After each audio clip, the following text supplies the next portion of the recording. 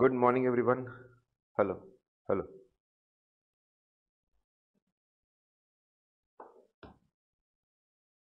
चलिए, आज का सेशन शुरू करते हैं। आई होप आप लोग अच्छे से पढ़ रहे हैं। यू आर डूइंग गुड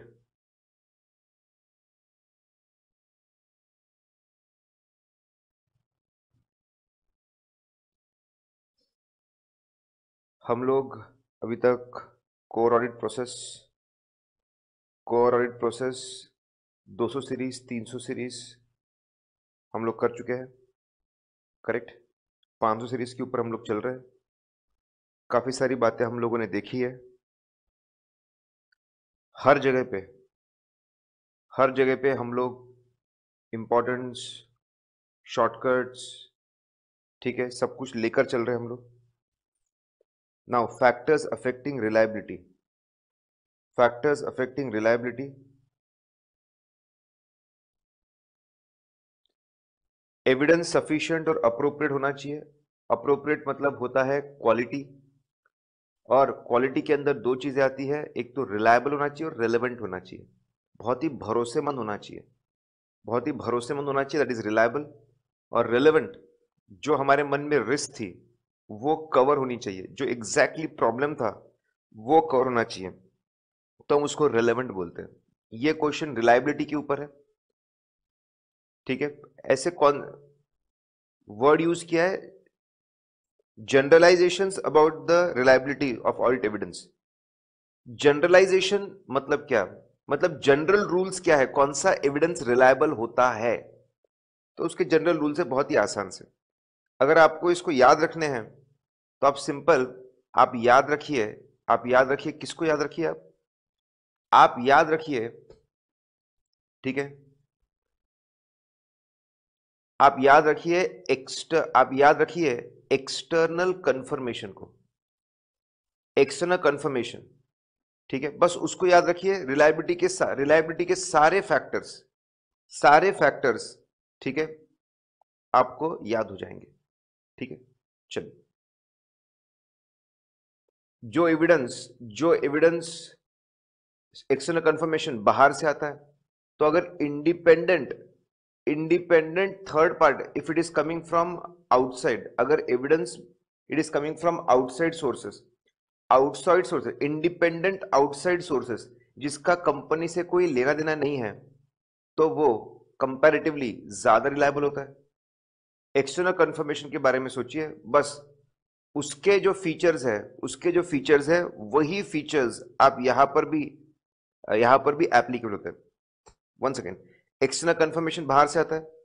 तो इंडिपेंडेंट आउटसाइड सोर्स से आने वाला कोई अगर एविडेंस है तो कंपैरेटिवली कंपैरेटिवली वो ज़्यादा रिलायबल है। ठीक है?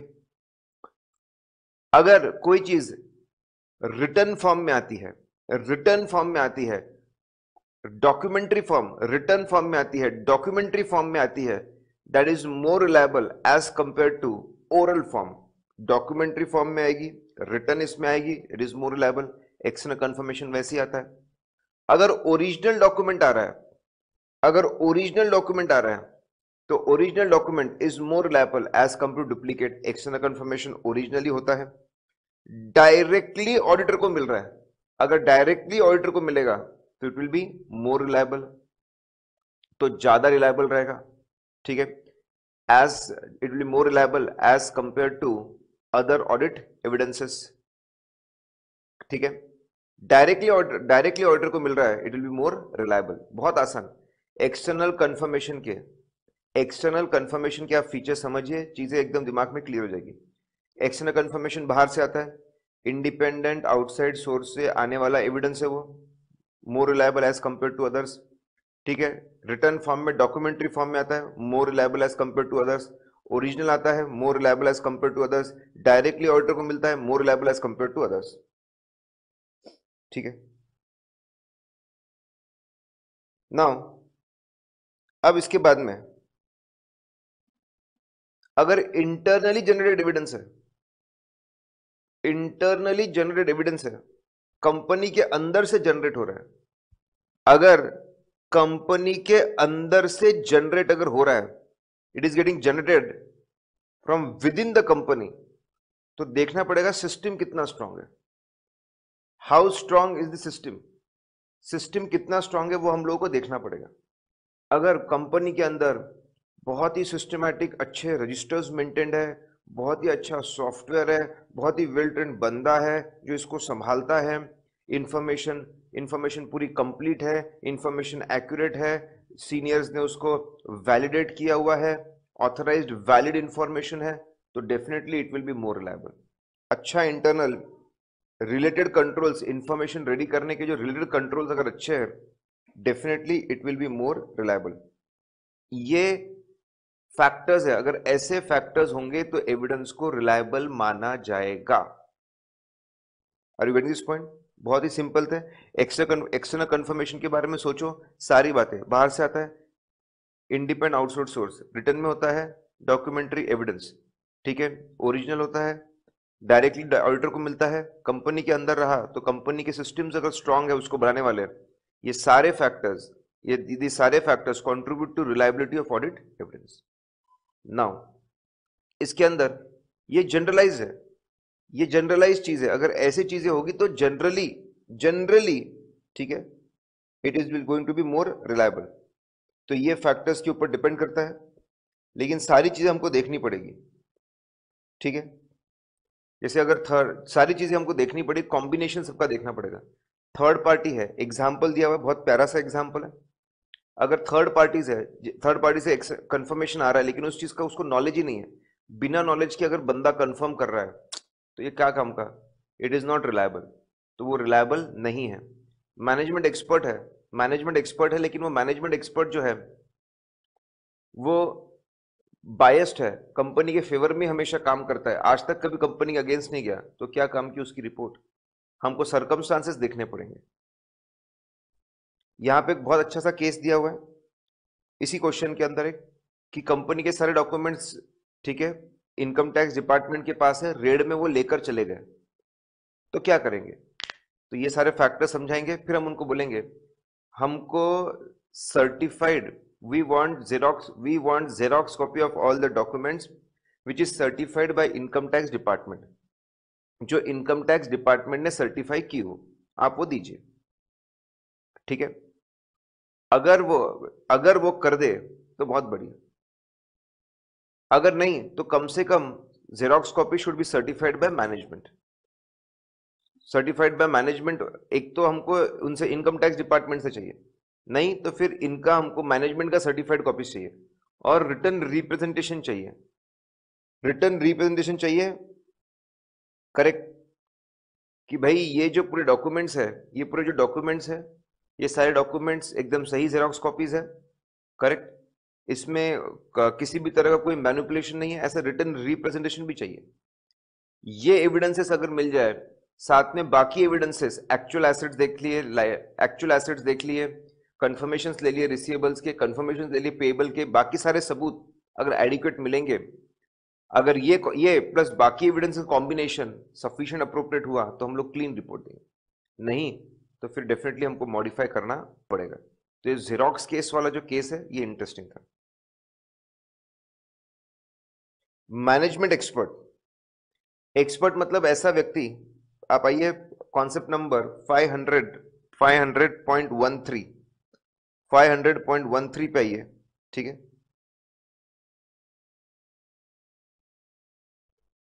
Management expert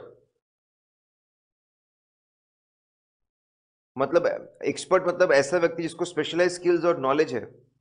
specialise skills specialise skills और नॉलेज है in a field other than accounts and audit accounts और ऑडिट के नॉलेजेबल पर्सन तो हम खुद ही होते हैं। हम खुद ही होते हैं, हम, हमको खुद को पूरा अच्छा नॉलेज होता है, हमारे पूरे टीम को उसका अच्छा नॉलेज होता है। तो जनरली उसके लिए हमको नहीं चाहिए होता। एक्सपर्ट मतलब ऐसा व्यक्ति जिसको स्पेशलाइज स्किल्स नॉलेज है in a field other than accounts and audit अगर बाहर से किसी फर्म को, किसी बंदे को हम अपॉइंट करते कि प्लीज़ आके हमको, हमारा काम चेक कर दो। हमारे साथ मिलके काम करो, थोड़ा काम चेक कर दो। तो उससे कैसे डील करना ये 620 में होता है। और अगर मैनेजमेंट का अपॉइंटेड बंदा है, जो मैनेजमेंट को ऑलरेडी हेल्प कर रहा था अकाउंटिंग में, इसकी ही रिपोर्ट हम पढ़ लेते हैं तो उसको बोलते हैं मैनेजमेंट एक्सपर्ट। उससे कैसे डील करना है? ऐसे 500 में दिया है। तो जो बाहर से बंदे को लेके आते उससे कैसे डील करना ऐसे 620 में दिया और मैनेजमेंट के बंदे से कैसे डील करना ये हम लोगों ने ऐसे 500 के अंदर दिया। तो कैसे डील करना? बहुत आसान है। तीन बातें देखनी पड़ती है। अब ये तीन बातें यहाँ पे डेप्थ में नहीं दी हुई है, तीन बातें देखनी पड़ती है। सबसे पहले बंदा ब्लाइंड रिलायंस नहीं कर सकते साहब। बंदे का बंदे का कॉम्पिटेंस कॉम्पिटेंस मतलब ठीक है, उसने उसने, उसका नॉलेज लेवल कैसा है? उसका नॉलेज लेवल कैसा है? उसने कौन सी पढ़ाई की है? कितनी पढ़ाई की है? कौन से क्वालिफिकेशन उसने ऑप्टेन की है? उसका नॉलेज लेवल फिर उसने कौन सी ट्रेनिंग्स पहले नॉलेज क्या लिया है? फिर उसने कौन सी ट्रेनिंग्स क्या ली है? कितना उसका एक्सपीरियंस है? पहले नॉलेज लिया है, फिर ट्रेनिंग्स लिया है, फिर कितना एक्सपीरियंस है मार्केट में रेपुटेशन क्या है, ठीक है, उसका कॉम्पिटेंस क्या है, ठीक है knowledge training skills reputation capability adequate time adequate time है क्या काम करने के लिए उसके पास टीम है क्या उसके पास में इक्विपमेंट है क्या दैट इज़ कैपेबिलिटी और उसके बाद में ऑब्जेक्टिविटी बींग अनबायस्ड ठीक है, उसके ऊपर कोई प्रेशर नहीं होना चाहिए, और उसके ऊपर कोई इन्फ्लुएंस नहीं होना चाहिए ठीक है? कोई भी किसी भी तरह का प्रेशर उसके ऊपर, किसी भी रीजन की वजह से प्रेशर नहीं होना चाहिए। पता चला उसने कंपनी से बहुत बड़ा लोन लिया है और वो रीपे नहीं कर पा रहा है। उसके ऊपर बहुत ज़्यादा प्रेशर है। वो क्या सच्ची रिपोर्ट देगा? इतना ज़्यादा प्रेशर है उसके ऊपर, वो क्या सच्ची रिपोर्ट देगा? ठीक है? पता चला कि एकदम जूनियर लेवल से भी नीचे उसको ट्रीट करते हैं। बहुत बड़ा प्रेशर में रखते हैं। वो क्या अच्छी रिपोर्ट देगा? ठीक है? ना प्रेशर ना प्रेशर में होना चाहिए। ना झुकना चाहिए, ना बिकना चाहिए। ऐसा नहीं कि उसने बहुत कंपनी से उसने बहुत ज़्यादा अनजस्टिफाइड बेनिफिट्स बहुत सारे बेनिफिट्स उठाए हुए हैं। कंपनी के इन्फ्लुएंस में भी नहीं होना चाहिए। ठीक है? कंपनी को बहुत बहुत ज़्यादा फ़ीस ज़रूरत से ज़्यादा फ़ीस उसको दे रहे हैं। गड़बड़ है। ठीक है? ये बिक गया है बंदा। कंपनी के इन्फ्लुएंस में ऐसा लग रहा है। पूरी तरीके से कंपनी के इन्फ्लुएंस में ऐसा हमको लग रहा है। ऑब्जेक्टिव होना चाहिए। ना झुकेंगे, ना बिकेंगे। ना बंदा प्रेशर में होना चाहिए, ना बंदा इन्फ्लुएंस में होना चाहिए। ऐसा बंदा चाहिए। तो ये तीन बातें। ठीक है, आप उसके क्वालिफिके अगर आप उसके क्वालिफिकेशंस देखोगे, उसकी किताबें, उसके आर्टिकल से समझ आएगा बंदा कितना नॉलेजेबल है। अगर आपका पास्ट एक्सपीरियंस है तो आपको पता ही होगा पहले से बंदा कितना नॉलेजेबल है। पास्ट एक्सपीरियंस नहीं है मिलकर बात कर लीजिए। पता चल जाए कितना नॉलेजेबल है। ठीक है? या फिर एक काम करिए दूसरे किसी एक्सपर्ट से बात करिए, उससे पूछ लीजिए कि यार ये बंदा इतना नॉलेजेबल है क्या? कॉम्पिटेंस कैपेबिलिटी ऑब्जेक्टिविटी फिर उसके बाद में, इससे पहले, अब बंदा तो सही है। इससे पहले कि मैं इसके साथ, इससे पहले कि मैं इसका काम चेक करूँ, मुझे खुद को भी तो नॉलेज होना चाहिए उसके फ़ील्ड का। मुझे खुद को भी तो पता होना चाहिए कुछ बातें। Understanding understanding obtain and understanding of the field of expert उसके फ़ील्ड का कुछ नॉलेज तो ले लो। पुरानी फाइलें पढ़ लो, उससे नॉलेज मिल जाएगा। ठीक है? कुछ सेमिनार्स और कॉन्फ्रेंसेस अटेंड कर लो, उससे नॉलेज मिल जाएगा। बाकी ऑडिटर से बात कर लो, कुछ नॉलेज मिल जाएगा। कुछ नॉलेज तो ऑप्टेन कर लो। ऑप्टेन सम नॉलेज थोड़ा तो नॉलेज ऑप्टेन कर लीजिए आप। एंड देन आखिरी में, उसका काम देखो, बहुत सिंपल सा है। पहले बंदा कॉम्पिटेंट है कैपेबल है ऑब्जेक्टिव डन फिर, उसके फ़ील्ड का कुछ नॉलेज हम लोगों ने ऑप्टेन कर लिया डन तीसरा, उसका काम इवेल्युएट करना है। उसका काम हम लोगों को इवेल्युएट करना है। Evaluating the evaluating the work of expert correct अब इवेल्युएट कैसे करना है? इवेल्युएशन में कौन सी चीज़ें देखना जब हम लोग इवेल्युएट करते हैं, जब हम लोग इवेल्युएट करते हैं वी इवेल्युएट तो इवेल्युएशन में कौन सी चीज़ें हमको देखनी है? बहुत सिंपल बहुत आसान। ठीक है? देखो, यहाँ पे तो सिर्फ़ तीन बातें दी है, इतना समझा उतना ही काफ़ी है। इवेल्युएटिंग द वर्क पहले उसने हर एक्सपर्ट कोई ना कोई डेटा यूज़ करता है। डेटा कंप्लीट और एक्यूरेट है ना।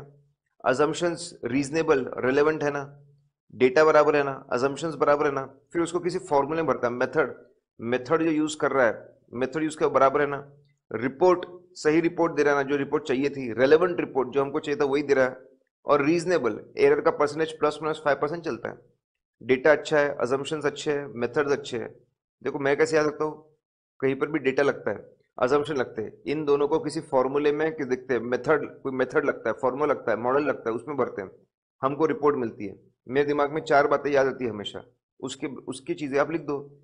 जो डेटा होना चाहिए, वो कंप्लीट और एक्यूरेट होना चाहिए। जो अजम्पन्स है, वो रेलेवेंट होने चाहिए इस इंडस्ट्री को रीजनेबल होने चाहिए। मेथड भी रिलेवेंट और रीजनेबल होनी चाहिए। और जो रिपोर्ट निकल रही है, वो भी हमारे जो चाहिए थी, वैसी होनी चाहिए रिलेवेंट एंड रीजनेबल ठीक है? इस क्वेश्चन में क्या था? इस क्वेश्चन में लोन दे दिया था। मशीन का लोन दे दिया सिविल इंजीनियर सिविल इंजीनियर की रिपोर्ट के उसमें सिविल इंजीनियर कंस्ट्रक्शन में एक्सपर्ट है। मशीन में एक्सपर्ट नहीं होता। तो उसकी रिपोर्ट को नहीं मानना चाहिए। ठीक है? Cannot consider expert of valuation of machinery he should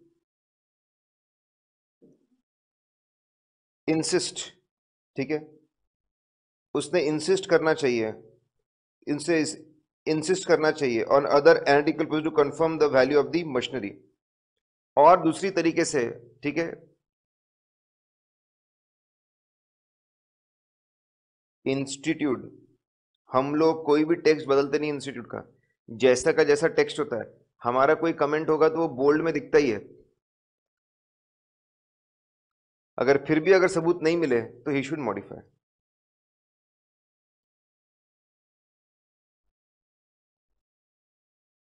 चलिए। वी आर थ्रू विथ 500 बहुत सारी चीज़ें हमको कवर करनी है सब। चलिए। Now come to page number 248 दिखने वाला पेज नंबर जो 248 है और पीडीएफ का पेज नंबर 254 है। छह पेज आगे होता है हमारा। PDF generally now inventory with third party कैसे वेरीफाई करेंगे? क्या इन्वेंट्री थर्ड पार्टी के पास हो सकती है? बिल्कुल हो सकती है थर्ड पार्टी के पास में ठीक है?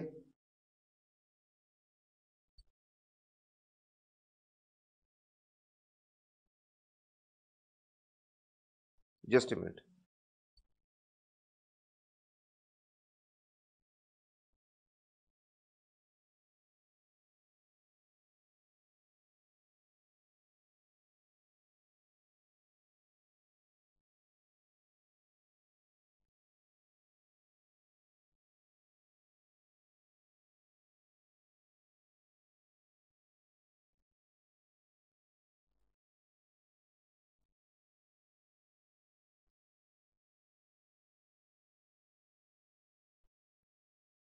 चलिए। इन्वेंट्री थर्ड पार्टी के पास हो सकती है डेफिनेटली हो सकती है। कब कब हो सकती है थर्ड पार्टी के पास में? हो सकता है कि हमारे गुड्स जो इंपोर्ट करके ला रहा है सीएनएफ एजेंट के पास हो। हमारी इन्वेंट्री सीएनएफ एजेंट के पास हो सकती है हमारी इन्वेंट्री ट्रांसपोर्टर के पास हो सकती है हमारी ट्रांसपोर्टर के पास हो सकती है। आ, हो सकता है कि आ, कोई पब्लिक वेयर हाउस है कोई पब्लिक वेयर हाउस है उसके पास में रखी हुई है हमारी इन्वेंट्री हो सकता है हमने प्रोसेसिंग के लिए, हम लोगों ने प्रोसेसिंग के लिए किसी को दिए, उसके पास रखी हुई है, ठीक है? हो सकता है हमारा कोई कंसाइनी है, हमारा कोई कंसाइनी है कंसाइनी के पास रखी हुई है इन्वेंट्री तो इन्वेंट्री थर्ड पार्टी के पास हो सकती है। कैसे? कैसे आप इसको एग्जामिन करोगे? सबसे आसान तरीका है, सबसे ईजीएस्ट सबसे आसान तरीका है, सबसे आसान तरीका कौन सा है आपका? सबसे आसान है कंफर्मेशन ले लो। थर्ड पार्टी से कंफर्मेशन कर लो। सबसे आसान बैठे बैठे आराम से खाते पीते कंफर्मेशन मंगवा लो। सबसे ज़्यादा मेहनत करनी है, खुद जाके इंस्पेक्ट करो। सबसे ज़्यादा अगर आपको मेहनत करनी है तो खुद जाके आप इंस्पेक्ट करो। और दोनों के बीच में है अदर ऑडिट प्रोसीजर्स सबसे आसान, सबसे इजीएस्ट ठीक है? सबसे इजीएस्ट अगर आपको काम करना है सबसे इजीएस्ट ये सबसे डिमांडिंग ठीक है? और ये इन बिटवीन तीन तरीके हैं। सबसे आसान है, ऐसे आपको रखना है, सबसे आसान बैठे बैठे थर्ड पार्टी से कंफर्मेशन मंगा लो। सबसे ज़्यादा डिमांडिंग मेहनत करनी पड़ेगी जा खुद जाकर पूरा इतना ट्रैवल करके इंस्पेक्ट करो। और उन दिनों के बीच में अदर ऑडिट प्रोसीजर्स अब सबसे आसान कंफर्मेशन कैसे? तो ऐसे 505 के हिसाब से। इंस्पेक्शन कैसे? तो भाई ऐसे 501 के हिसाब से, जो हम लोग पढ़ रहे हैं। विस्विंग 501 501 के अंदर तीन आइटम्स के बारे में बोला हुआ है, ठीक है? और उसके बीच में अदर ऑडिट प्रोसीजर्स ठीक है? अदर ऑडिट प्रोसीजर वो भी in sequence of in sequence of efforts सबसे कम एफर्ट्स लगते हैं। अगर आपको थर्ड पार्टी की इन्वेंट्री चेक करनी है ना सपोज़ हमने इन्वेंट्री प्रोसेसिंग के लिए किसी को दी हुई है। प्रोसेसिंग के लिए। आधा काम, आधा प्रोसेसिंग हमने कर लिया, आधा तुम प्रोसेस करके हमको वापस भेज दो। ठीक है? हम पैक करके माल को बेच देंगे। ये काम है अब। अब सबसे आसान क्या है? सबसे आसान है डॉक्यूमेंट्री एविडेंस देख लो।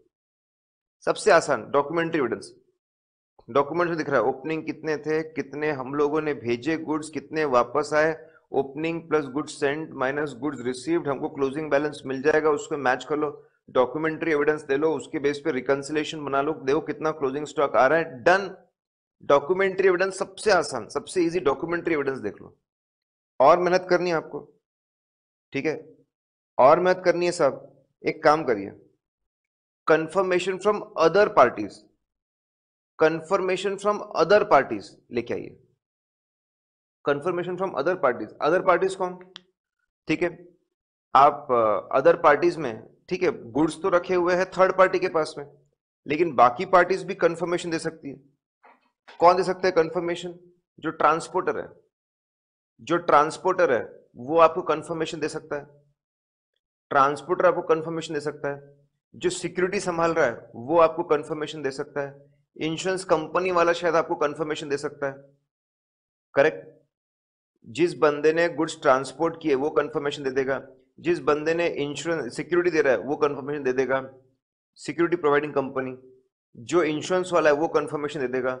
जिसके गोडाउन में माल रखा हुआ है, वो कंफर्मेशन दे देगा। तो बहुत आसान है। थर्ड पार्टी के अलावा और भी तो लोग हैं जो कंफर्मेशन दे सकते हैं। करेक्ट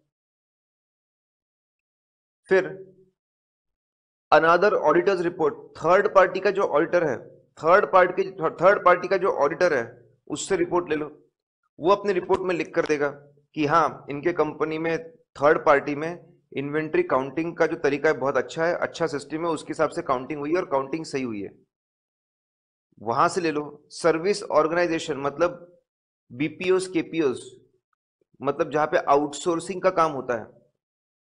तो थर्ड पार्टी में, ऐसे जो अनादर थर्ड पार्टी का जो ऑडिटर है सर्विस ऑर्गेनाइजेशन का जो ऑडिटर है, उससे रिपोर्ट ले लो। या फिर आखिरी में मेहनत और करनी है। किसी को अरेंज करो कि बेटा जा जाके तू जाके चेक कर ले। किसी को अरेंज करो, जा बेटा तू जाके चेक कर ले चीज़ों को। You go and check arranging some another auditor arranging another auditor to go and visit समझ रहे साहब? बहुत आसान है, बहुत सिंपल है। 501 के अंदर हमने सबसे आसान तरीका, सबसे मुश्किल तरीका, सुन के बीच में का तरीका हम लोगों ने देखा सीक्वेंस में देखा। पहले डॉक्यूमेंट्स ले लो, ठीक है? और मेहनत करनी है कंफर्मेशन लीजिए from parties other than third party और मेहनत करनी है आपको, ठीक है? अनादर ऑडिटर्स जो ऑडिटर है इन लोगों का, उनसे रिपोर्ट ले लो। और अगर मेहनत करनी है आपको, ठीक है? तो अरेंज समवन किसी को अरेंज करो, किसी को अपॉइंट करो, जा बेटा तू जाके चेक कर ले। चेन्नई में चेन्नई के अपने कोई एसोसिएट फर्म को भेज दे। ये सीक्वेंस में याद रखोगे, फटाफट याद रहेगा। फिर लिटिगेशंस और क्लेम्स लिटिगेशंस और क्लेम्स कंप्लीट है ना एक्यूरेट है ना, उसमें कोई गड़बड़ तो नहीं है। लिटिगेशंस और क्लेम कंप्लीट है ना, सारे कंप्लीट है ना, और उसकी जानकारी एकदम सही है ना। कंप्लीट है, जानकारी एकदम सही है, उसमें कोई गड़बड़ होने के चांसेस तो नहीं है। उसमें कोई प्रॉब्लम के चांसेस तो नहीं है। ये कैसे हम लोग पता करेंगे? उसमें कोई प्रॉब्लम के चांसेस नहीं है, ये हम कैसे पता करेंगे? तो बहुत आसान है। बेसिकली आप कैसे पता करेंगे कि जो कंपनी में लिटिगेशन की लिटिगेशन और क्लेम्स की लिस्ट है, ठीक है? उसमें कोई प्रॉब्लम तो नहीं है, उसमें कोई रिस्क तो नहीं है। ऐसा है। इसके लिए हमको लिटिगेशन की जानकारी। अगर मुझे पता लगाना है कि लिटिगेशंस और क्लेम्स में कंप्लीटनेस में मतलब कंप्लीटनेस में एक्यूरेसी में कुछ प्रॉब्लम तो नहीं है ठीक है? उनके कई कुछ प्रॉब्लम तो नहीं है, अगर मुझे रिस्क पता करनी है, अगर लिटिगेशन और क्लेम की मुझे रिस्क पता करनी है तो मुझे इंफॉर्मेशन कलेक्ट करनी पड़ेगी। कैसे करेंगे हम इंफॉर्मेशन कलेक्ट सबसे आसान, सबसे पहले, ठीक है लीगल एड को फ़ोन लगाओ। अरे सर आपसे आके मिलना है ना। इंक्वायरी करो इंक्वायरी करो इंटरनल लीगल काउंसिल से। ठीक है? इंक्वायरी करो मैनेजमेंट या फिर उनका जो अगर कोई लीगल डिपार्टमेंट है, वहाँ के लोगों से इंक्वायरी करो। साहब बताइए, इस साल की पेंडिंग लिटिगेशन और क्लेम्स की लिस्ट बताइए। पिछले साल से कितने एडिशन है वो समझाइए, कितने डिलीशन है वो समझाइए। एडिशन कोई छूट तो नहीं गए, वो चेक करेंगे। डिलीशन कुछ गलत तो नहीं है, वो हम लोग चेक करेंगे। तो बहुत आसान है, सबसे आसान, सबसे इजी वापस। इजीएस्ट है इंक्वायरी कर लीजिए। और मेहनत करनी है, एक काम करिए। ये तो आपने बोला ना, सिर्फ़ आपके बोलने पर थोड़ी भरोसा कर सकते हैं। ठीक है? सिर्फ़ आपके बोलने पे थोड़ी भरोसा कर सकते हैं। सबसे बड़ा डॉक्यूमेंट लाइए। बोर्ड ऑफ़ डायरेक्टर्स के मिनट्स लाइए। जितने इंपॉर्टेंट डिडिकेशन और क्लेम है बोर्ड ऑफ़ डायरेक्टर्स अपने मीटिंग में डिस्कस करते हैं। अगर वहाँ पे दिख रहा है तो यहाँ पर भी दिखना चाहिए। फिर एक काम करिए।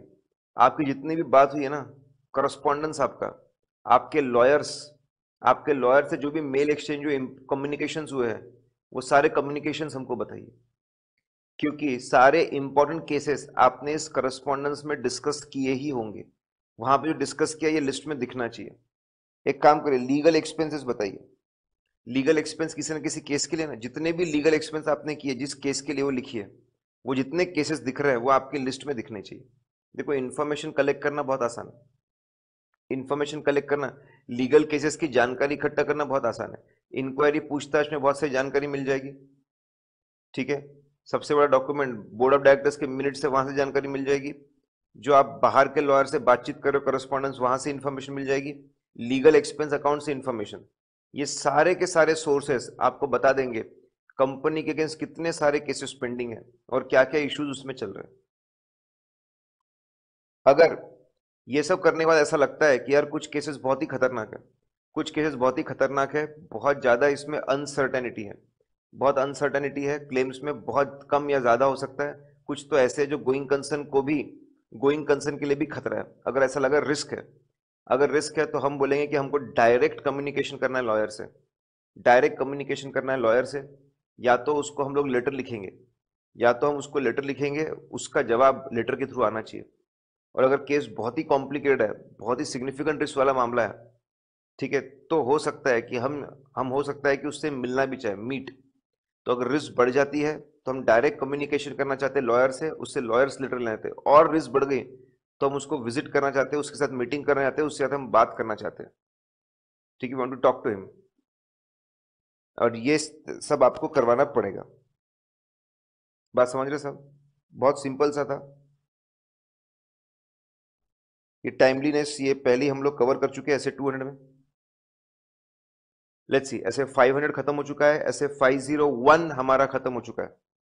गाइज़ चेयर अप आप सुनते जाइए, धीरे धीरे धीरे धीरे आप चीज़ों को सुनते जाइए, समझते जाइए। आई अंडरस्टैंड थोड़ा फास्ट चल रहा है, कोई बात नहीं, जितना आप सुन सके सुनते जाइए। फिर वापस आप वापस आप इसको रीड कर सकते हैं रीड करते वापस आप वीडियो को देख सकते हैं। वापस आप वीडियो को देख सकते हैं वीडियो की, ठीक है, जो लोग रिकॉर्डेड देख रहे हैं, वो वीडियो की स्पीड भी स्लो करके स्पीड भी स्लो करके आप देख सकते हैं। नौ फाइव ज़ीरो फाइव में आइए। ठीक है? फाइव ज़ीरो फाइव में आइए। एक्सटर्नल कंफर्मेशन एक्सटर्नल कंफर्मेशन क्या होता है और कौन से एरियाज़ में? बहुत सिंपल और बहुत ही आसान है।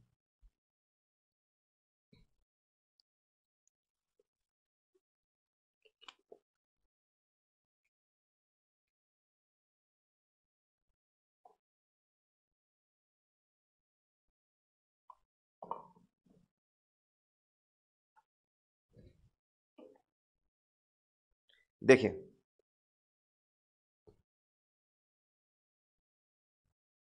एक्सटर्नल कंफर्मेशन मतलब क्या? बोला sir direct return response direct return response from third party direct return response to auditor from third party confirming some information confirming some information ठीक है? Through any medium paper form, electronic form और any other medium उसको हम external conformation बोलते हैं। बहुत ही आसान, बहुत सिंपल है। ठीक है? Direct return response direct return information to auditor from third party either in paper form electronic form और एनी अदर मीडियम ठीक है? और एनी अदर मीडियम उसको हम लोग बोलते that is called that is called as external confirmation one of the most reliable सबसे reliable evidences है, क्योंकि इसमें सारे फीचर्स है रिलायबिलिटी के। इनफैक्ट रिलायबिलिटी के फैक्टर्स हमने याद रखे एक्सटर्नल कंफर्मेशन को ध्यान में रख के। बाहर से आता है इंडिपेंडेंट थर्ड पार्टी से आता है मोर रिलायबल डॉक्यूमेंट्री फॉर्म में आता है मोर रिलायबल ओरिजिनल होता है मोर रिलायबल डायरेक्टली हमको मिलता है मोर रिलायबल सारे फीचर्स है इसमें रिलायबिलिटी के। ठीक है?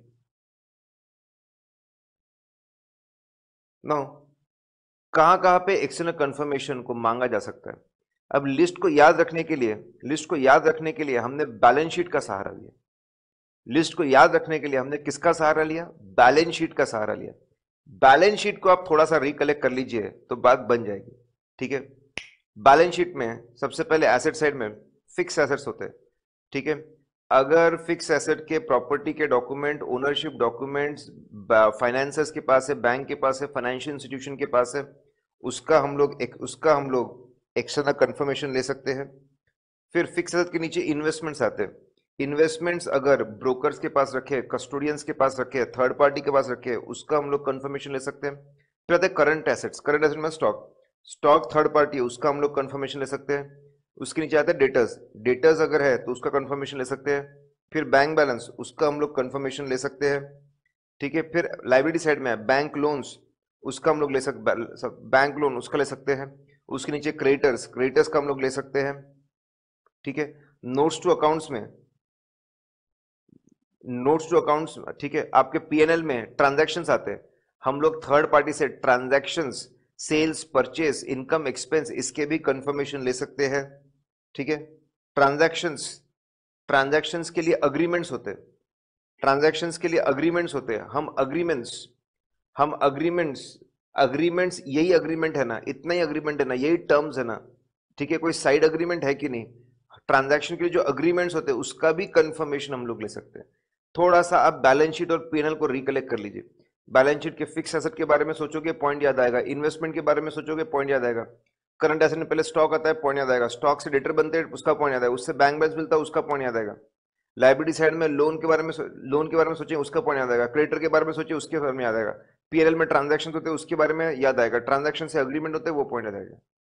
याद कैसे रखना है, इसका टेक्निक होना चाहिए। मैं तो आपको बता रहा हूँ। ऑडिट में कोई भी क्वेश्चन कोई भी क्वेश्चन दो पेज का, तीन पेज का, चार पेज का, पाँच पेज का, कोई भी अगर आंसर मिले, मैं वो याद करवा सकता हूँ। मैं सारी चीज़ें याद करा सकता हूँ। ऑडिट में अगर कुछ भी प्रॉब्लम हो ऑडिट गुरु डॉट इन हमारी डिस्कशन पॉइंट करके साइट है। Audit guru dot in slash discussion point वहाँ जाकर आप इन्फॉर्मेशन दीजिए। ठीक है, वहाँ जाकर वहाँ जाकर आप इंफॉर्मेशन दीजिए। You give information correct no page number page number 252 पे पीडीएफ का पेज नंबर पीडीएफ का पेज नंबर 252 कॉन्सेप्ट नंबर 505.07 उसके ऊपर आइए। डिज़ाइनिंग कंफर्मेशन रिक्वेस्ट 505.07 है। डिज़ाइनिंग डिज़ाइनिंग आपका कंफर्मेशन रिक्वेस्ट होता क्या है? व्हाट हैपन्स ठीक है? थर्ड पार्टी को रिक्वेस्ट भेज जाती है। थर्ड पार्टी को कंपनी के लोग मैनेजमेंट कंपनी के लोग मैनेजमेंट थर्ड पार्टी को रिक्वेस्ट करते कि प्लीज़ प्लीज़ आप हमें ठीक है प्लीज़ आप कंफर्मेशन भेजिए। कंपनी के लोग मैनेजमेंट के लोग रिक्वेस्ट भेजते हैं थर्ड पार्टी को कि प्लीज़ ये इंफॉर्मेशन कंफर्म करिए डायरेक्टली टू ऑडिटर मतलब तीन पार्टीज़ इन्वॉल्व है। Auditor company third party request भेजता कंपनी है थर्ड पार्टी को।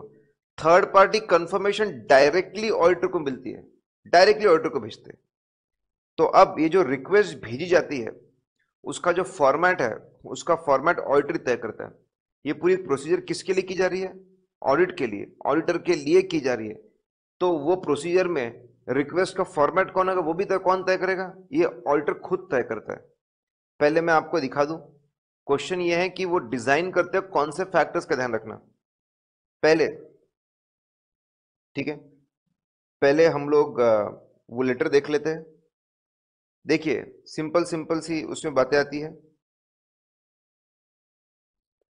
करेक्ट सबसे पहले वो लेटर लेटर आएगा।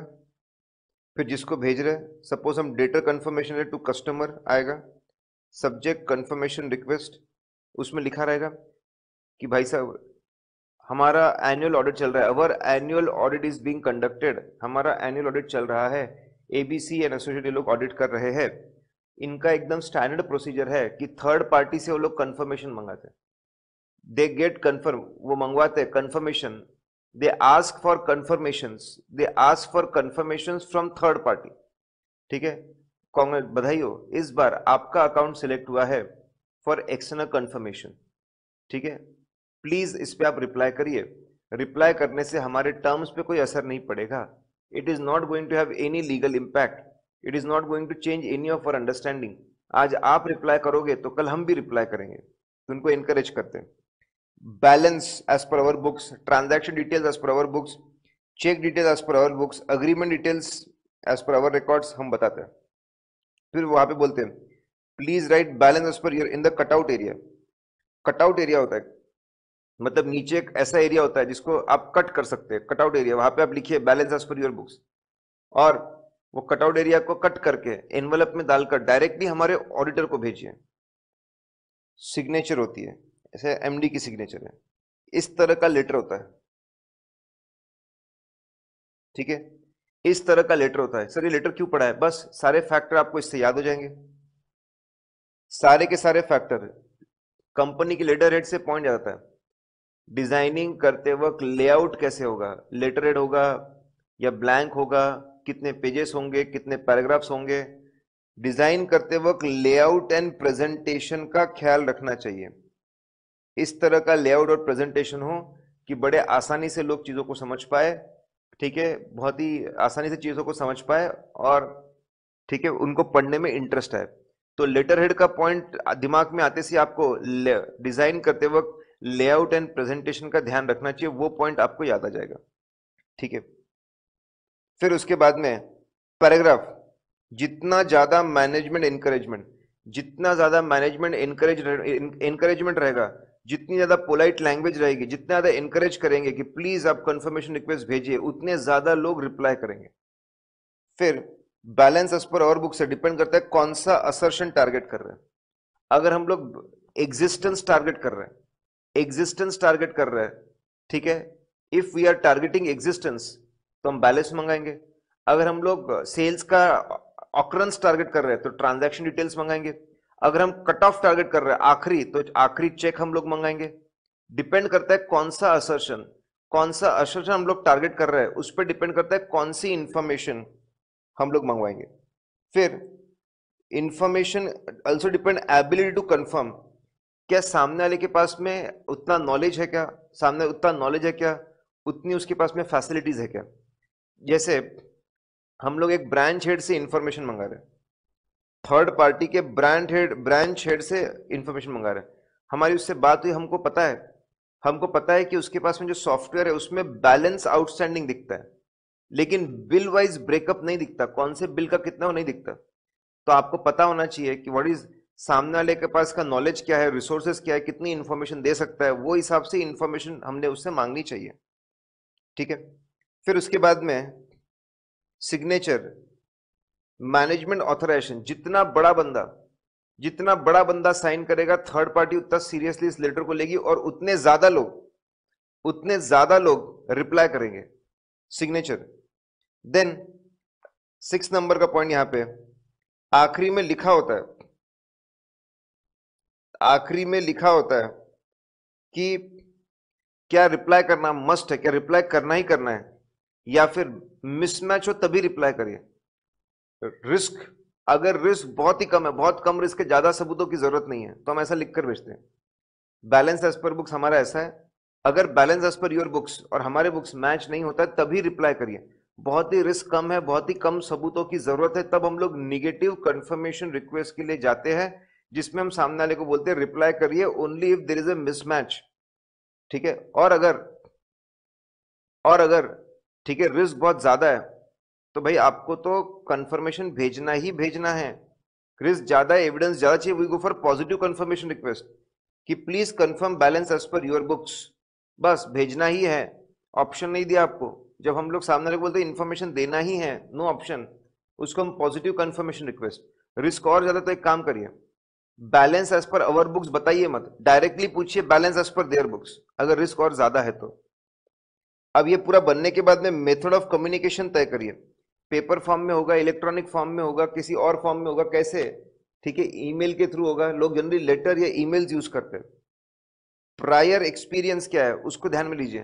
पिछले साल एकदम थर्टी फ़र्स्ट मार्च को मत भेजिए आप। आपको पता है लोगों को फाइनलाइजेशन में टाइम लगता है।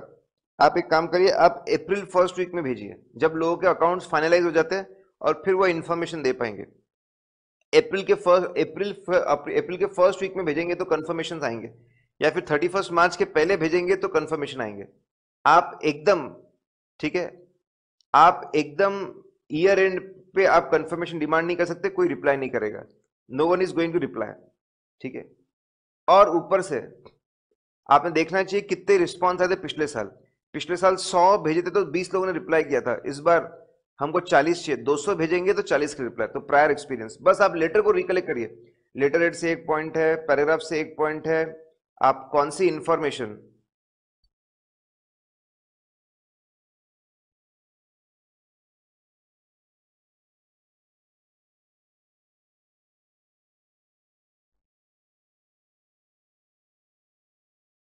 आप कौन सी इंफॉर्मेशन कौन सी इंफॉर्मेशन आप लिखकर भेज रहे हैं? असर्शन पे डिपेंड करता है नॉलेज पे डिपेंड करता है, ठीक है? सिग्नेचर से एक पॉइंट आता है, आपके आखिरी में रिस्क से एक पॉइंट आता है, फिर सब बनने के बाद मेथड ऑफ़ कम्युनिकेशन का एक पॉइंट है और प्रायर ईयर एक्सपीरियंस ठीक है? 500 अगर मैनेजमेंट रिफ्यूज करता है मैनेजमेंट बोलता है मैनेजमेंट बोलता है कि आपने डेटर्स की लिस्ट दी थी 50 डेटर की लिस्ट उसमें से पाँच डेटर को पाँच डेटर को, पाँच डेटर को भाई साहब हम लोग नहीं भेजेंगे। ठीक है?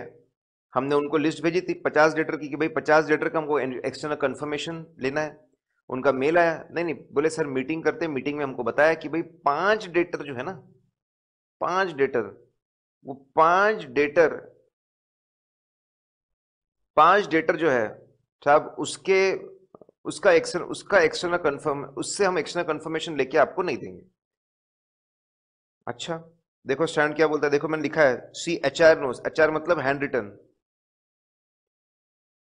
देखो छोटा सा एक वहाँ पे, छोटा सा फ्लोचार्ट बनाया हुआ है। अगर वो ऐसा करते हैं तो उनसे पूछो रीजन उनके रीजंस क्या है और क्या वो सच लग रहे हो? बोले, सर, हमारा उनके साथ में डिस्प्यूट चल रहा है। अच्छा। डिस्प्यूट चल रहा है डिस्प्यूट अगर डिस्प्यूट के अंदर ये लेटर जाएगा तो उनको ऐसा लग, डिस्प्यूट चल रहा है। और डिस्प्यूट हम लोग अच्छे से उसको रिजोल्व कर रहे हैं। फाइनल स्टेज पे डिस्कशन बहुत नाजुक सेंसिटिव सिचुएशन है। बड़ी मुश्किल से वो माने, बड़ी मुश्किल से पैसे देने के लिए माने और कुछ पैसे हम लोग दे रहे हैं। इस बीच में, और हमने उनको प्रोमिस भी किए कि हम, उनके अगेंस्ट कोई लीगल एक्शन नहीं लेंगे। ये लेटर जाएगा तो उसको मिस इंटरप्रिट कर देंगे। उसको मिस इंटरप्रिट कर देंगे कि साहब, ये भरोसेमंद नहीं है। ठीक है? They are going to misinterpret it और हमारे पूरे जो निगोसिएशन है वो डीरेल हो जाएँगे, हमारा पैसा डूब जाएगा। अच्छा तो आप देखिए उनके क्या रीजंस है। फिर उनके डॉक्यूमेंट्स देखिए, क्या रीजन है वो देखिए। फिर उनके, ठीक है, ये सारे डॉक्यूमेंट्स देखिए। ठीक है, कब से पैसा पेंडिंग था, सही में ओल्ड आउटस्टैंडिंग है क्या? क्या करस्पॉन्डेंस हो रहा है? कोई कोर्ट केस चल रहा है? क्या बातें चल रही है? क्या मीटिंग्स हुई? क्या बातें पता चली? वो पूरा, वो एविडेंस देखिए। ठीक है पहले देखिए कि रीजंस बराबर है कि इज़ इट रीजनेबल अगर लगता है कि अनरीजन ठीक है? अगर लगता है कि नहीं नहीं no there are no reasonable reason कोई रीजनेबल रीजन नहीं किसी तरह कोई रीजनेबल रीजंस नहीं है, बिल्कुल एक्सेप्टेबल नहीं है। कोई इनकी बातों में सच्चाई नहीं लग रही, इनकी बातों को प्रूव करने के लिए कुछ भी नहीं है। दाल में कुछ काला है। दाल में कुछ काला है, ये हमको एक्सटर्नल कंफर्मेशन प्रोसीजर नहीं करने दे रहे हैं। मतलब हमको काम करने से रोक रहे हैं। लिमिटेशन ऑन स्कोप है। रेंज ऑफ़ एक्टिविटी स्कोप मतलब रेंज ऑफ़ एक्टिविटी जो काम हम करना चाहते हैं, जो काम हम करना चाहते हैं, उससे रोक रहे इन्फॉर्म टीसीडब्ल्यू जी दोष चार्ज विद गवर्नेंस को आप इन्फॉर्म करिए। Inform TCWG modify the opinion लिख दीजिए क्वालिफाई कर दीजिए कि we are not able to form opinion लिख दीजिए कि इस चीज़ we are not getting sufficient appropriate evidence अगर रीजनेबल लग रहा है ठीक है यार, इनका जस्टिफाइड है। Evaluate the effect on R M M risk of fraud देखिए फिर, ठीक है, यार एकदम अनएक्सपेक्टेड बात पता चली, अचानक। देखिए हमको उस एरिया की रिस्क को बढ़ाना है क्या? रिस्क को मीडियम लेवल से हाई लेवल करना है क्या? लो से मीडियम करना है क्या? मीडियम से हाई करना है? उस लेवल हम उस एरिया में कोई रिस्क लेवल को बढ़ाने की ज़रूरत है क्या? ठीक है, क्या इसमें कोई जानबूझकर हमको बेवकूफ़ बनाने की कोशिश कर रहा है? इंटेंशनल रिस्क ऑफ़ फ्रॉड भी है क्या? क्या यहाँ पे फ्रॉड हुआ है? ऐसा लग रहा है कोई जानबूझ के ये कर रहा है, कंपनी का एम्प्लॉय रिस्क ऑफ़ फ्रॉड भी वो भी सोचिए। देखिए, ऐसी अजीबो गरीब चीज़ हो रही है, सोचना पड़ेगा उस एरिया की रिस्क को बढ़ाना है क्या रिस्क ऑफ़ फ्रॉड है क्या? और ऑल्टरनेटिव प्रोसीजर को परफॉर्म करना शुरू करिए। अगर सफिशियंट अप्रोप्रिएट एविडेंस मिल गया तो ओके अगर सफिशियंट अप्रोप्रिएट एविडेंस नहीं मिला नहीं मिला, वापस इन्फॉर्म टीसीडब्ल्यू जी की सबूत की कमी है मॉडिफाई ओपिनियन तो बहुत आसान है। अगर वो लोग अन उनके रीजंस अनरीजनेबल है सही नहीं है, सीधा इन्फॉर्म करो टीसीडब्ल्यू जी को रिपोर्ट कर दो। अगर रीजन सही लग रहा है, देखिए रिस्क को बढ़ाना है क्या ऑल्टरनेटिव प्रोसीजर लगाइए। बात बन गई तो ठीक है, अगर बात नहीं बनी तो वापस inform TCWG and modify opinion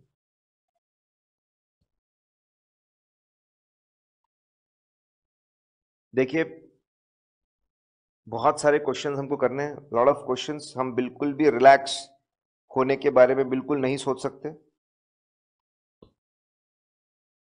ठीक है? हम लोग पेज नंबर 257 पे we are on page number 257 520.01 520.01 ठीक है? एनालिटिकल प्रोसीजर्स देखो वहाँ पे लिखा हुआ है। वहाँ पे लिखा हुआ है कि हम एक्स्ट्रा नोट्स एक्स्ट्रा नोट्स देखने चाहिए। आई होप आप लोगों ने एक्स्ट्रा नोट्स डाउनलोड किए और दूसरा वर्जन था वो भी मैंने कल ही आपको बताया था।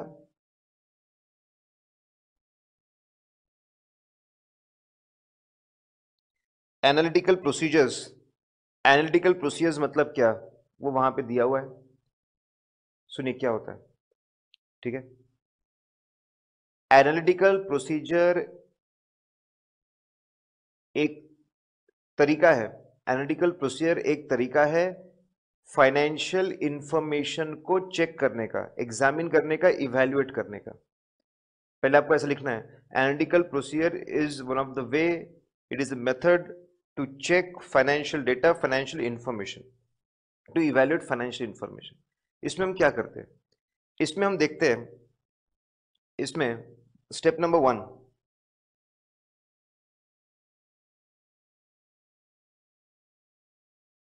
Step number one.